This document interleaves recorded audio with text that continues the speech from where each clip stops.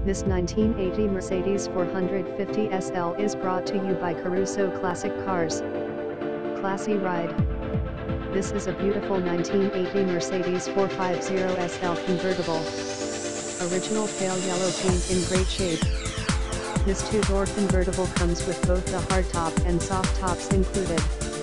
Soft top has a tear on it, so for show ready, should be replaced, original engine has about 115,000 miles on it. AM slash FM cassette, cruise control, A slash C, power brakes, steering, and windows. Front side panel seat needs to be repaired. This particular Mercedes is the last year the 450 SL came with the large displacement 4.5 liters, single overhead cam, V8 engine, and the 3-speed automatic transmission. Runs great. This classic has been garage kept and is located in Massachusetts. Visit us at carusoclassiccars.us.